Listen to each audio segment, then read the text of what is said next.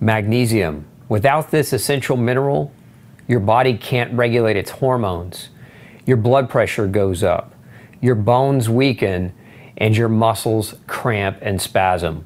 We're going to do a deep dive today into everything you need to know about magnesium, including what lab tests to ask your doctor for, which supplements are best, and which forms of magnesium are best, but even more importantly, how you can develop deficiencies in this very critical essential mineral. We'll be right back with all the details.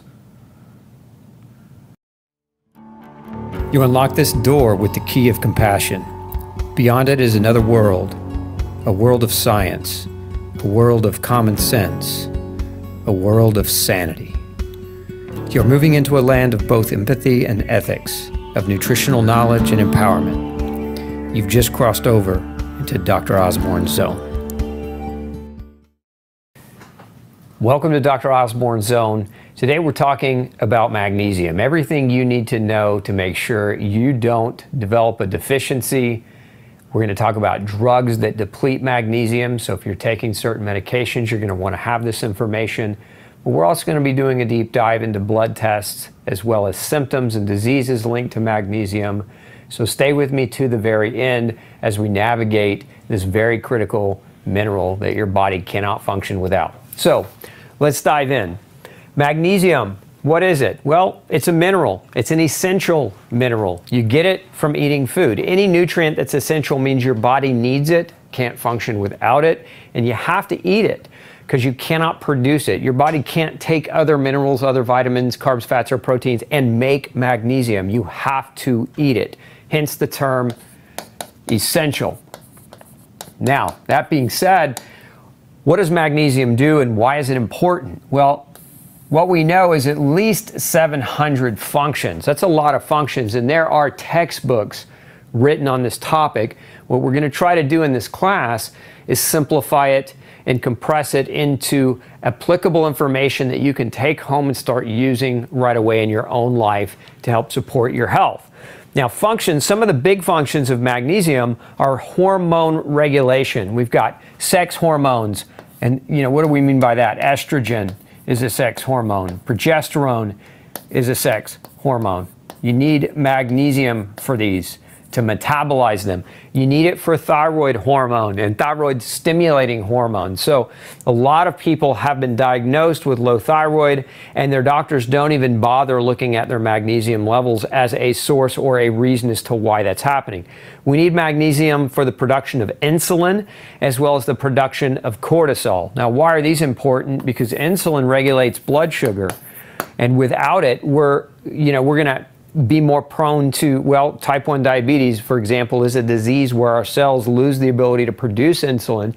Uh, and so, again, that diabetes is, is a consequence of that. Well, not having the capacity to make efficient insulin through magnesium deficiency can also contribute to diabetes and poor ability to generate energy from carbohydrates as a food source. Then we have cortisol. Cortisol is our body's natural fire truck, right? It, it puts out fires. It's an anti inflammatory stress hormone. We make cortisol to fight inflammation. We also make cortisol to wake up in the morning. Cortisol spikes in the morning when the sunlight comes through the window and hits your eyes. Cortisol spikes and it wakes up your brain. So, very important hormone in our circadian rhythm, and magnesium regulates its production. And we also know that magnesium regulates the nervous system and brain chemistry. Uh, magnesium is an electrolyte. It's oftentimes not referred to when we talk about other electrolytes like sodium and potassium and chloride, but it's very much an electrolyte. And through those actions, regulates how nerves communicate to other nerves and how brain cells communicate to each other. It also regulates energy production. When we're talking about generating energy, the body's source of energy, oftentimes referred to as ATP, adenosine triphosphate, is produced as a result of the breakdown of carbs, fats, and proteins. And in the, in the modern diets today, most people are way too high in their carbohydrate consumption. you need magnesium for that. In essence, there are steps in chemically in how we break down carbohydrates in, in this process inside of our cells called Krebs cycle. Uh, and magnesium is required in multiple steps of that carbohydrate breakdown. And so we cannot generate energy from carbohydrate based foods without magnesium being present. We also know it regulates muscle tone. And this is one of the reasons why cramps and spasms are common side effects. If you've ever had an eye twitch and like an eyelid,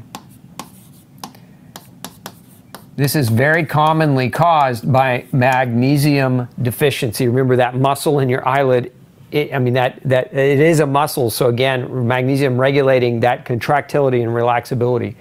Magnesium is necessary for DNA and RNA production in big part through this process of methylation. Now, methylation does more than uh, leading to DNA and RNA, RNA production, which, by the way, is important because this is how we heal and repair and rebuild new tissue. And so without it, we, we get uh, stuck. We can be injured and have a hard time healing. Our bodies don't repair as efficiently or as, as, as readily.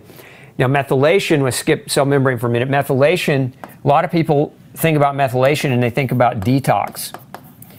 Um, and so detoxification of certain chemicals, we, we detoxify certain types of estrogens through the process of methylation, but the number of chemicals are methylated within the body and it's a form, uh, in, a, in a sense, it's the way we, we detoxify. And, and magnesium drives this enzyme of methylation called COMT. So if you've ever uh, gone to a doctor and had your COMT gene measured, magnesium is behind that mechanism.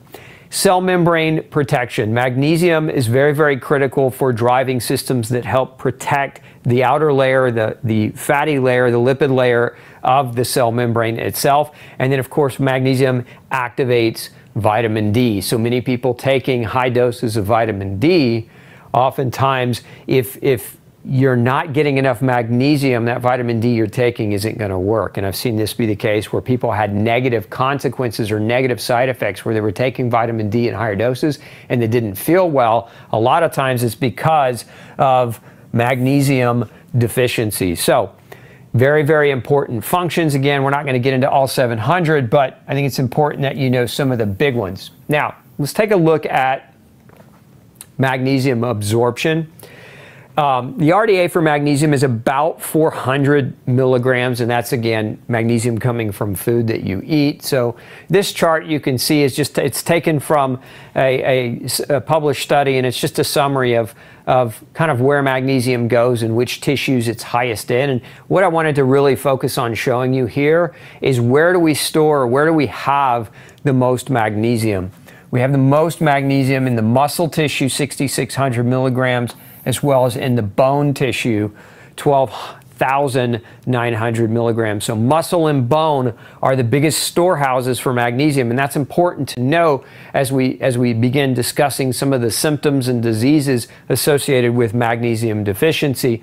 It's also important to understand that the kidneys, obviously the GI tract regulates absorption of magnesium. So if there's inflammation in the gut, this process is going to be hindered. It's not going to happen as efficiently. We also know that kidney damage, okay, can lead to abnormal reuptake of magnesium because some magnesium is lost through the urine, but the kidney is really, really good at recycling and reabsorbing magnesium as it comes through it. So if we've got a disease, a kidney damage or kidney disease, this is also going to influence or affect our magnesium status. So again, inflammation in either of these two organs is going to impact how we maintain our magnesium storehouse. Now, let's talk about some of the symptoms, the very common symptoms of magnesium deficiency. And some of these um, are very common or quite common. So, depression. You know, we live in a society today where depression is actually you know, I would say it's epidemic in proportion. People are not happy. Magnesium deficiency can cause or contribute to depression through multiple mechanisms. One of the ways is that you need magnesium for proper production of serotonin and dopamine. So, neurochemical production, neurochemicals of happiness, right? Are necessary. Magnesium is necessary to produce those chemicals. As we said earlier, magnesium also allows for the communication of nerve cells with each other, and depressed communication will lead to depression as a symptom.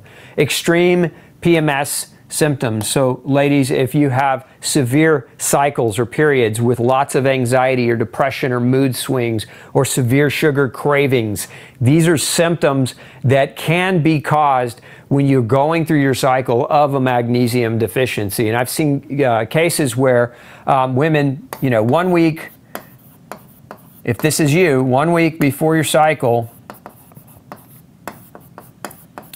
you know, four to 600 milligrams of extra supplemental magnesium a day may help you navigate your cycle more effectively with less problems. We also know that magnesium deficiency leads to bone loss. As I showed you a moment ago, the vast majority of our storehouse of magnesium is actually in the bone, but very, very important for the bone matrix.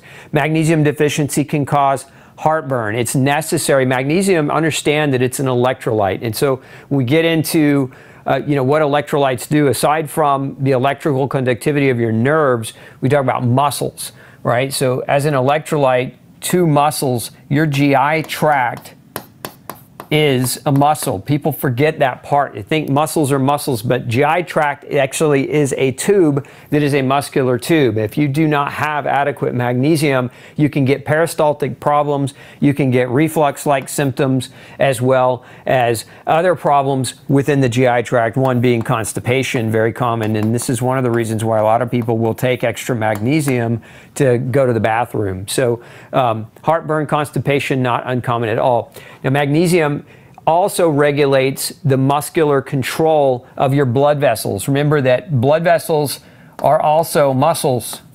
Your arteries have a muscular layer, and those arteries, those muscular layers, contract and, re- and, extend or relax. And so magnesium regulates that. And this is one of the reasons why low magnesium causes vasoconstriction or a, a tightening of the blood vessels. So if we look at kind of this is the tube of the vessel itself, and you have the lining so you'll have inward contractions and you'll have outward expansions of that blood vessel. And without magnesium, that can actually narrow, it can constrict, making blood pressure go up. Now, magnesium is also a natural blood thinner, it prevents platelets from aggregating aggressively. So magnesium itself deficiencies can lead to a greater blood pressure due to thickening of the actual viscosity of the blood.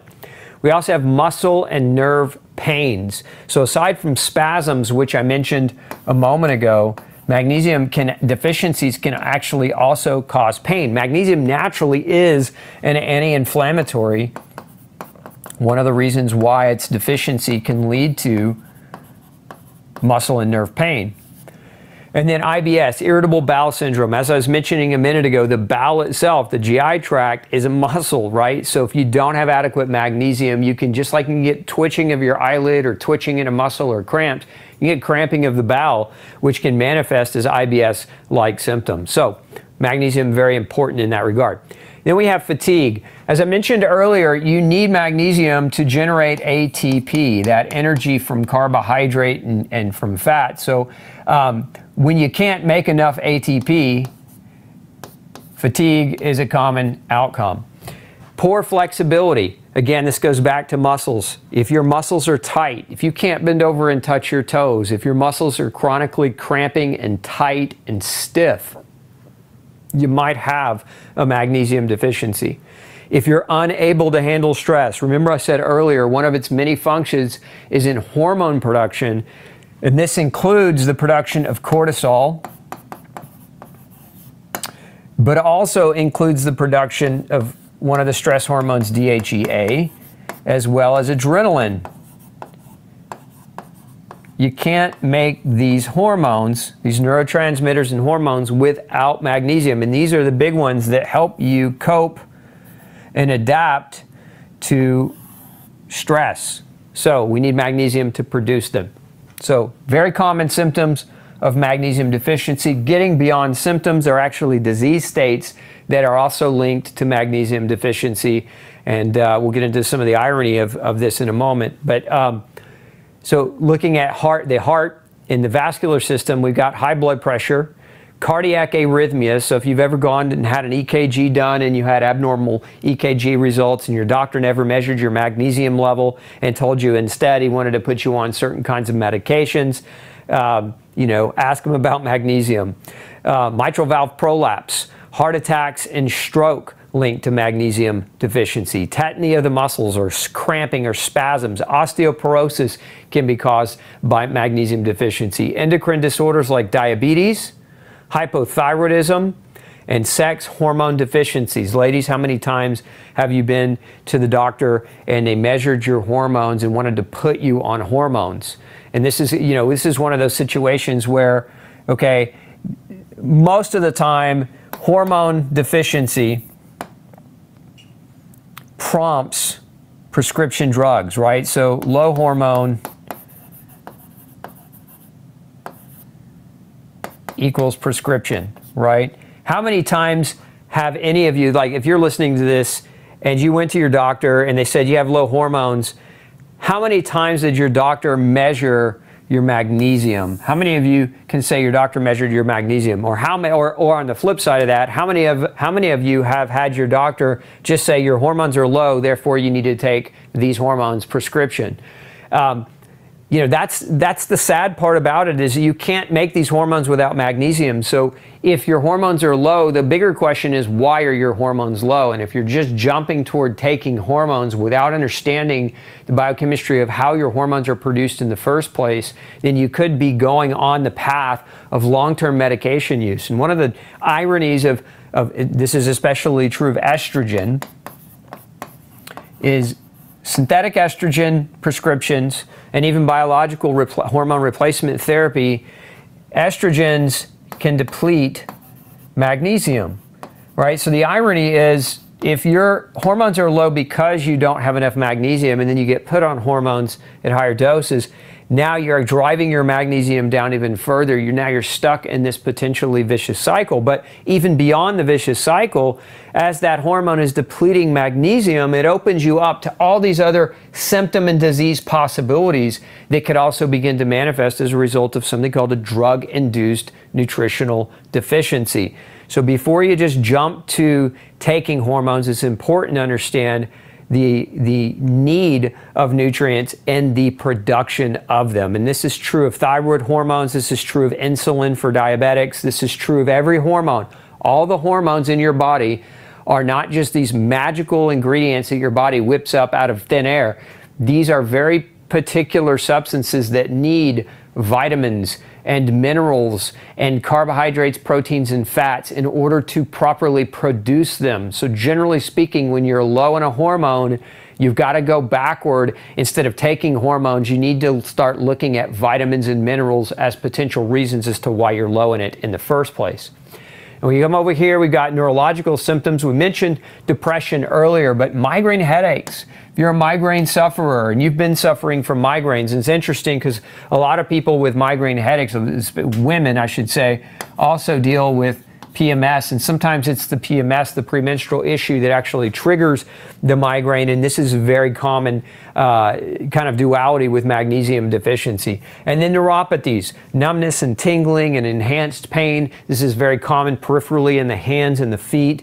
Um, so if you've got neuropathy, think potential for magnesium. And then, as I mentioned earlier, constipation, IBS. So, again, your GI tract is a muscle that contracts and relaxes. Magnesium plays a role in how well it can do that. And so, low magnesium can actually contribute to that irritable bowel. So, a lot of different problems that magnesium can create. Magnesium, I should say, magnesium deficiency. Now, let's ask a deeper question. Okay, if you have magnesium deficiency, why? What is the reason? What is the root cause of what drives magnesium deficiency?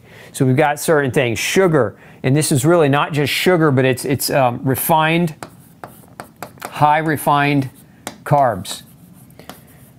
And, and, and so it doesn't even have to just be refined carbohydrates. It can actually be just be too many carbohydrates in the diet. We also have stress. Remember I said earlier that you need magnesium to produce stress hormones? Well, the more stress you have, the more stress hormones you produce, the more magnesium you use in that production. And this is one of the reasons why magnesium is depleted under high stress. It's also, you know, the kidneys don't reabsorb magnesium under as well. I should say they do, but not as well. Reabsorption through the kidneys is diminished during high states of stress. And then we have coffee and caffeine. Now, I'm not talking, you know, there's some research that shows that like one cup a day actually provides a, a number of benefits, including a longevity. We believe a longevity, a life expansion benefit. But so I'm not talking about kind of moderate to, to normal, what I call normal coffee use. But this is high doses of caffeine. In my experience, when people go over 150 milligrams of caffeine a day, this is where they really start running into symptoms and problems. And so, you know, an average cup of coffee is about 120 milligrams.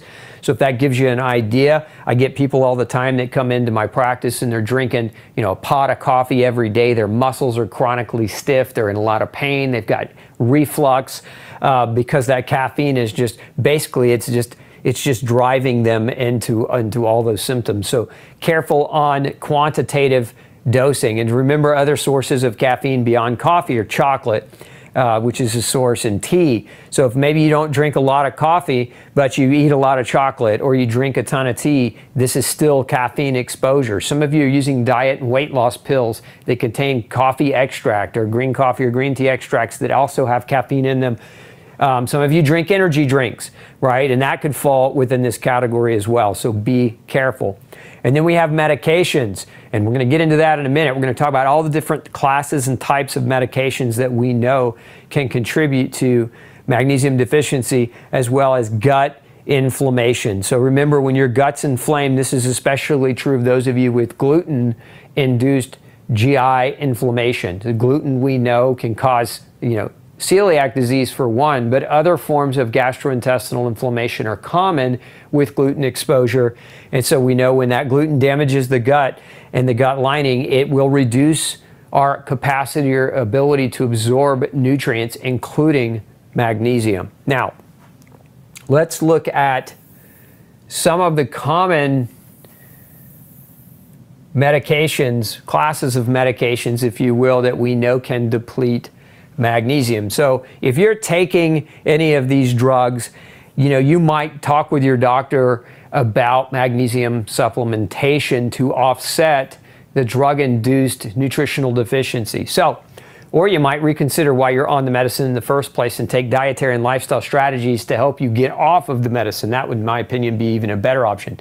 But this first group is anti-diabetic medications. So there's insulin. So those of you that are on insulin, and the irony here is you know, if you're type 1 diabetic, don't stop your insulin. But if you're a type 2 diabetic that's insulin dependent because you've abused yourself through lack of activity and through poor diet choices for years, uh, and a lot of doctors put patients, type 2 diabetics, on insulin when they have failed to do the, control their diet and lifestyle well. Understand that insulin and insulin mimetics deplete magnesium um, what are the mimetic drugs? So common ones are like Januvia. Um, so you know if you if you're on Januvia, another one, another really common prescription is Janumet. Uh, those medications deplete magnesium. So important to understand that. You're going to understand more in just a minute why as I show you kind of those consequences. Antimicrobials are antibiotics, right? So antibiotics um, there are a number of different classes of antibiotics that can strip away magnesium um, through either through loss in the gut or through loss in the actual kidneys because of the, the kidney damage and the kidney toxicity of some of these medications.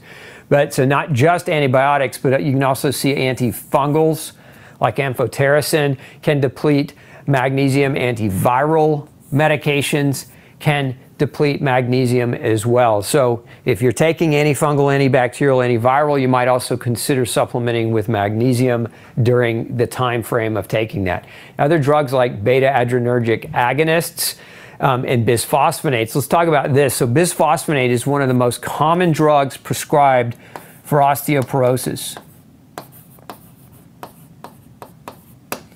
And the irony in that is that you know, osteoporosis, what did we say earlier about magnesium? You know, when I showed you magnesium is necessary for the bone. Oh, you know, we pass it up? I think we did. Yeah, so coming back to this, right? Osteoporosis, we need magnesium in the bone, but taking the very drugs to treat the bone loss deplete the magnesium. How are we winning? And this is one of the reasons why research shows over and over and over again that women who are on bisphosphonate medications are actually at higher risk for fractures than women who aren't on those medications. So it's important to make that connection because so many of you are just trusting your doctor and relying that what they're telling you and what they're doing with you is the right thing. But you've got to be aware those cl- class of medication causes magnesium loss. Cardiac drugs, so digoxin, if you've ever taken uh, digoxin, this drug depletes magnesium. Diuretics, which are also very common drugs for the heart. They, they lower blood pressure, right? So if you've got fluid retention in your lower extremities, uh, sometimes doctors put you on a diuretic if your blood pressure is high. Sometimes they'll put you on a diuretic. And it's both thiazide diuretics like hydrochlorothiazide as, re- as ready, or as well as loop diuretics like furosemide, uh, both used um, very commonly and cause magnesium loss. Now, there are other drugs beyond diuretics and, and, uh, and cardiac glycosides, other blood pressure drugs like ACE inhibitors that also deplete magnesium, not on this chart, but, but that can also do it. So many of your blood pressure medications will deplete magnesium. And of course, the irony there is that magnesium regulates blood pressure and magnesium deficiency can cause high blood pressure. So again, if you're taking a drug to lower your blood pressure, the drug causes a magnesium deficiency. What happens when your magnesium is low? Your blood pressure goes up. Again, can you see the irony? And then other types of medications, immunosuppressants, um, and EGFR inhibitors, these classes of medications. So if you're taking these, uh, there's also another type of medicine that um, I think I, I, should put up here because a lot of women post surgical, or not post surgical, but post uh, cancer are taking what are called SERMs, selective estrogen receptor modulators. Um, and these drugs are commonly given for up to five years after a breast cancer treatment. But these drugs also deplete um, magnesium, and tamoxifen is probably one of the more common that gets prescribed in this situation. So if you're on that medication, you might consider, again, talk with your doctor about the potential need for um, for using magnesium in, in addition, or uh, you know, again, just arm yourself with that knowledge so that you're not doing the wrong thing and leading to you know a major problem. So this diagram, just blow up on this diagram here. Um, so kind of summarizing a lot of what I was just saying, but we're going to put some things into this that help you understand kind of the revolving door of problems that are created when you have a problem and you use a medicine and the medicine depletes the magnesium, recreating the very problem that the drug was intending to treat. And so, again, if we look at, at these top three, these are just general causes of magnesium deficiency, as we said high refined carbohydrate diet, high levels of stress, diuretics, and that includes alcohol, caffeine, and hypertension medications. The thing that's not on this particular diagram that we mentioned a moment ago is GI inflammation. So if you have, you know, food allergy or a food sensitivity, including something like gluten, um, now again we're causing damage and malabsorption, which can lead to a reduction of serum and cellular magnesium levels. Now, when that happens, we, we want to look at this. See these, these in blue. So these are the consequences of depleting your magnesium. These are just some of the really super common consequences of magnesium depletion. So let's start from this side. So number one, depression, right? So we talked about magnesium deficiency causing depression. Well, a lot of times when people are depressed, they go to their psychiatrist or they go to their regular doctor, and the medicines that they're put on are these SSRIs, and sometimes I've even seen people with depression get put on, on drugs, the, the stimulant drugs, so central nervous system stimulants like Ritalin or Adderall. And um, because you know depression is more than I'm sad, depression can also be I'm brain foggy, I can't think clearly, I can't focus or concentrate. And it's important to know that you know once you start that road, um, especially if you're taking a central nervous system stimulator, these drugs actually can lower magnesium as well. So you can get, again, this class of medication, actually be better if I just drew an arrow back up here, actually also leads to the depletion of magnesium. So again, the very nutrient that causes the symptom leads to the prescription of the drug that then causes a deficiency of the very nutrient. And so we get stuck stuck in that cycle. Vasoconstriction is a side effect of magnesium deficiency, and this the disease state of vasoconstriction oftentimes uh, manifests as high blood pressure or hypertension. Now, as I mentioned earlier, you know, the common thing to do in medicine is to give a diuretic or an ACE inhibitor, an angiotensin receptor blocker, or, or many of the, there are many different types of blood pressure lowering drugs. And of course, these drugs have an effect on magnesium. They deplete it as well. So again, we get stuck in that loop.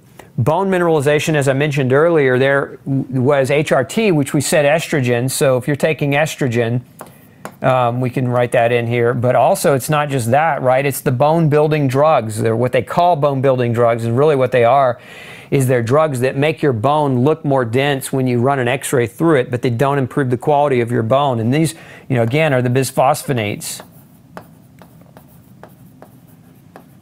So things like Fos, Fosamax.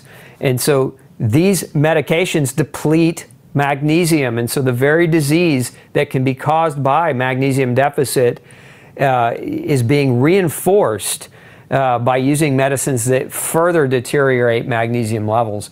And then we get muscle spasms and muscle pain. We're oftentimes given nonsteroidal anti-inflammatories. And the problem with taking NSAIDs,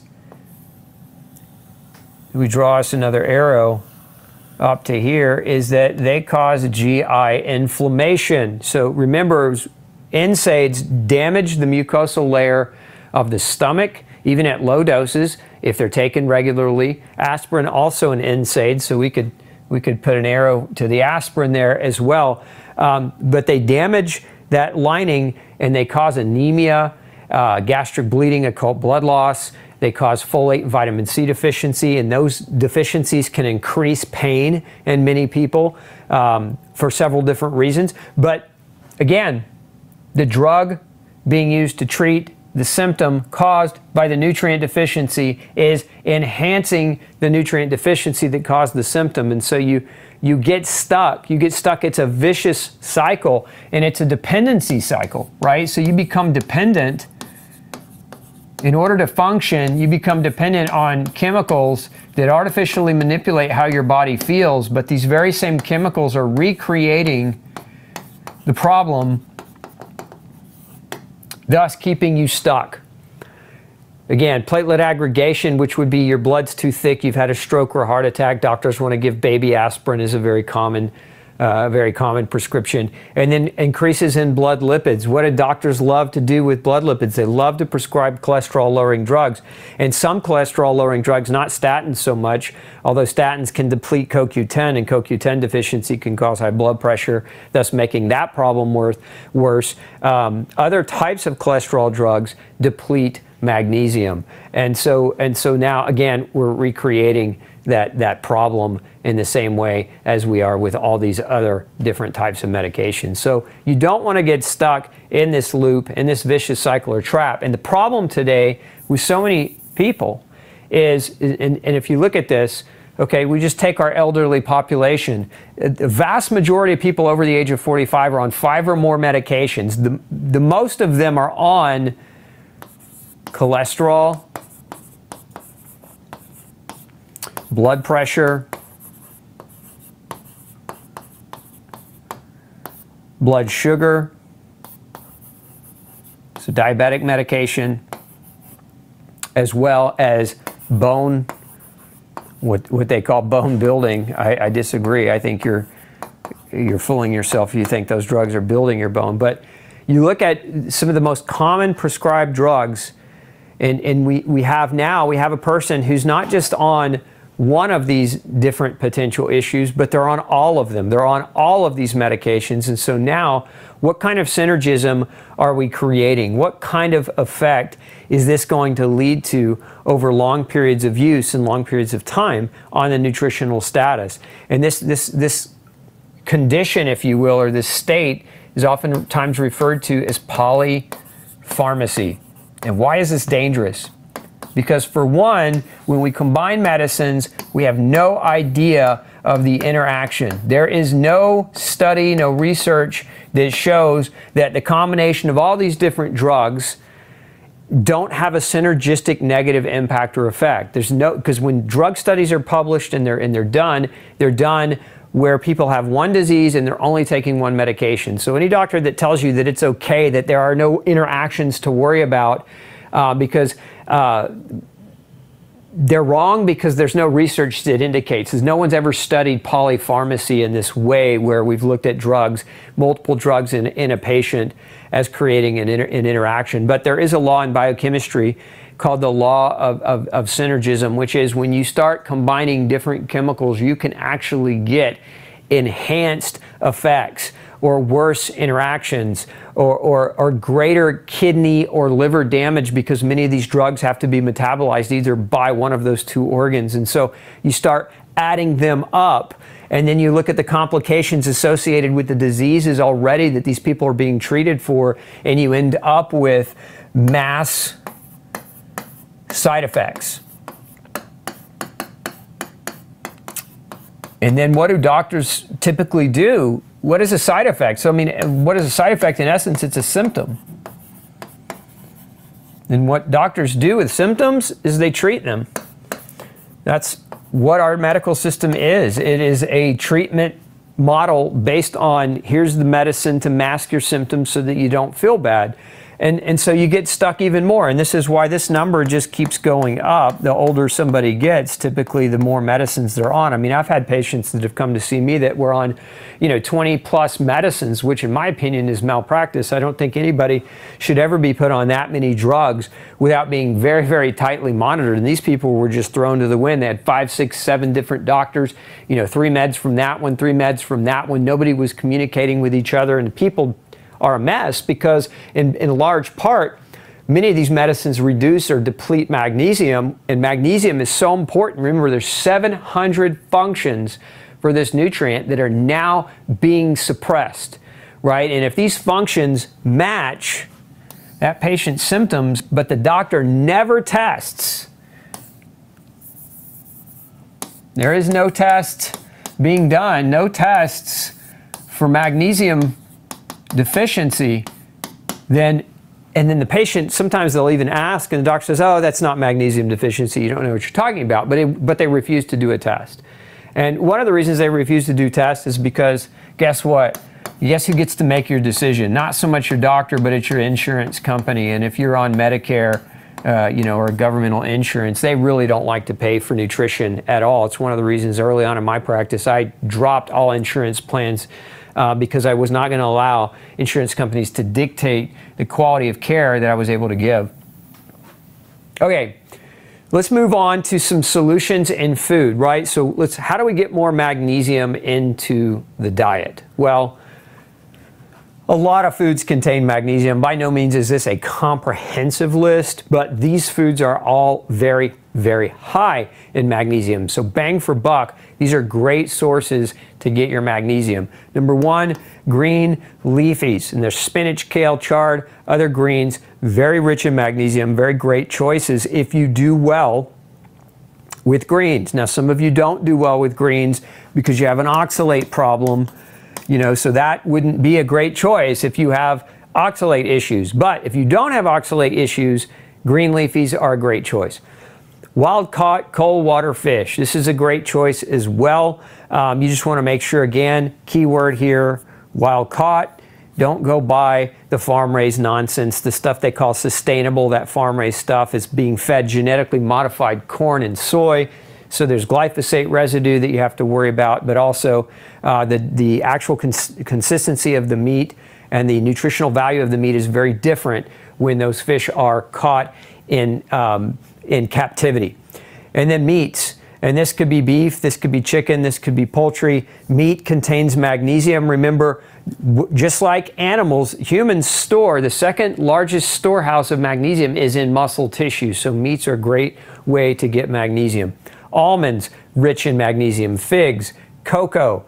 Again, what you got to worry about here, caffeine. So if you're having if you're having problems with caffeine or getting too much caffeine, I don't I don't want you to think, oh, I'm just going to eat tons of cocoa to get all my magnesium because then you create that caffeine diuresis effect, causing a loss of magnesium. But reasonably, um, eating some cocoa in the diet will get you some magnesium. This is one of the reasons why a lot of women around their cycles crave chocolate. It's really what they're asking is, is for more magnesium.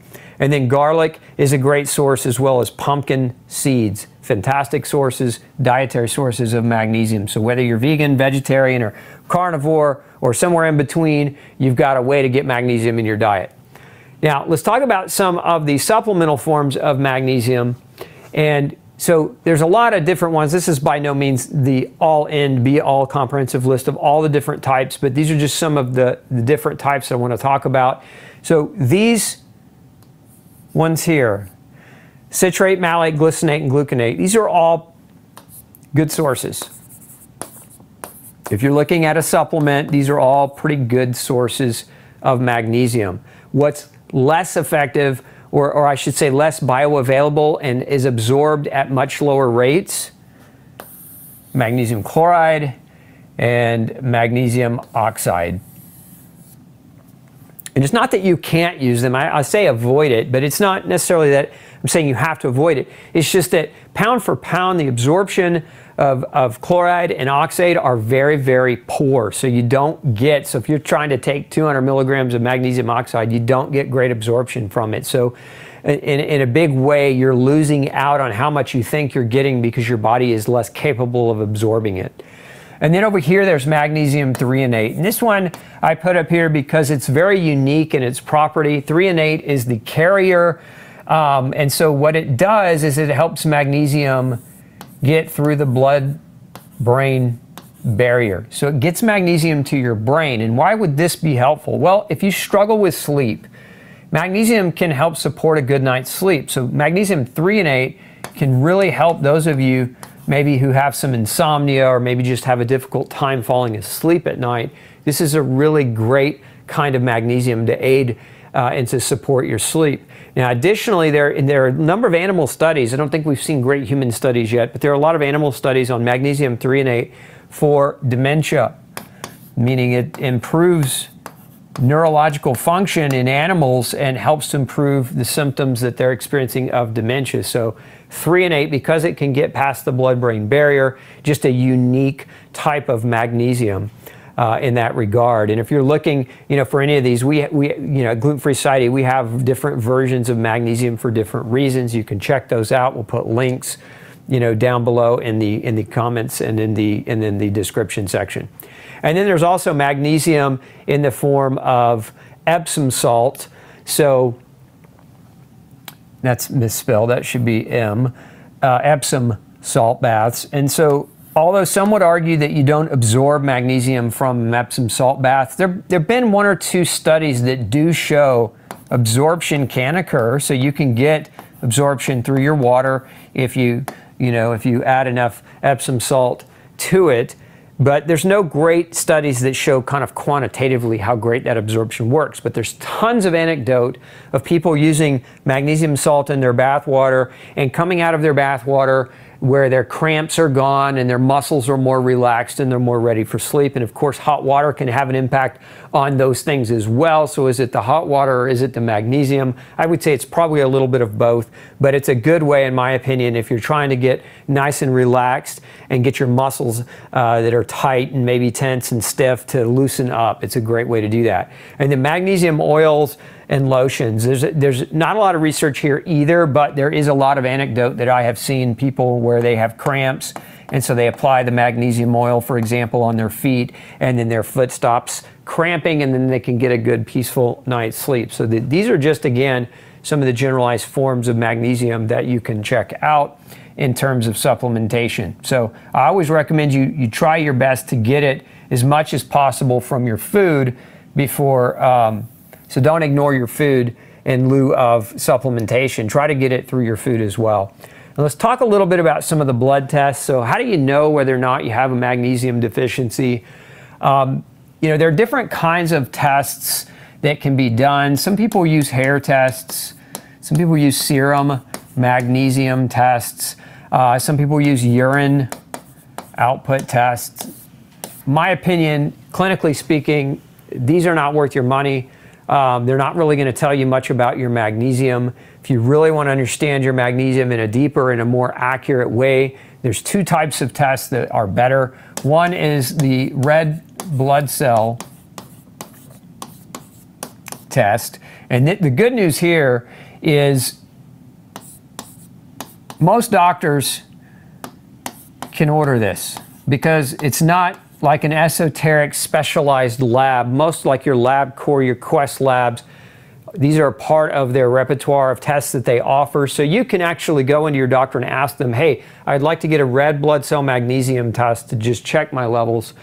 And, um, and, and generally speaking, the reference range on, on red blood cell magnesium is anywhere really between, like, depending on the lab. So this might change or vary depending on the lab, but like anywhere from like 3.8 to seven and a half milligrams per deciliter. Um, you know, and you, you definitely want to be, in my opinion, in that four plus range. So if you get your result back and you're not, and you maybe you're on that lower end, you might consider with some magnesium supplementation. The other way to test your magnesium is through lymphocyte proliferation. And this is the way I prefer. Um, and there's a reason why lymphocytes have a six month life cycle. So, and red blood cells, by the way, have a three to four month life cycle. And that's why they're that's why they're a good indicator of, of, of magnesium storage in the body because you're not just looking. So when you look at hair, serum, or urine, uh, more specifically when you're looking at serum and urine, you're looking at you know daily what happened today what, what was that daily intake or daily excretion what did it look like so you're looking at this like um, very, very short. It's a short snapshot based on recent intake, right? Recent meaning within the last day or two. So it's not really a great indicator of long-term magnesium status because you could go in on a day of a test and maybe last night you ate more foods that were richer in magnesium and so you're getting this serum or urine output level that looks pretty normal uh, based on the lab reference ranges. So again, not great for understanding whether or not you have long-term magnesium deficiency, but using lymphocytes or red blood cells, you have this really nice long multi-month span with lymphocytes. It's a six-month life cycle. The other thing that's nice about lymphocyte proliferation, in my opinion, is that it's an outcomes test. So it's measuring whether or not your cells are capable of performing their function based on whether or not they have adequate quantities of magnesium storage. So it's not a test that compares you to other people. It's a test that actually looks at the growth of your own cells to see if they're able to grow based on whether or not they have enough magnesium. And so a functional test is always going to be superior to a serum test or a urine test where the values are based on averages of people in the population because at the end of the day, you aren't all the other people that went into creating the reference range. You are you. You are uniquely you. And so using testing that can help you understand uniquely whether or not you're low is going to give you an advantage over knowing whether or not you need to actually add more magnesium into your diet or supplement with it. So these two tests would be my advice on best choices. So talk to your doctor about those. If they've never heard of this, don't ask them to go well, you could. You could go ask them to figure it out. But my point is, if they never heard of it, they're not qualified. And uh, you know, I shouldn't really say that. Maybe they're not qualified because uh, doctors can learn. But most of them will will run the other direction before they go and read and learn about science uh, in this way. But but Quest and, and, and, and LabCorp run this test. It's very, very common. Insurance will cover it. Uh, and so it's worthwhile asking for.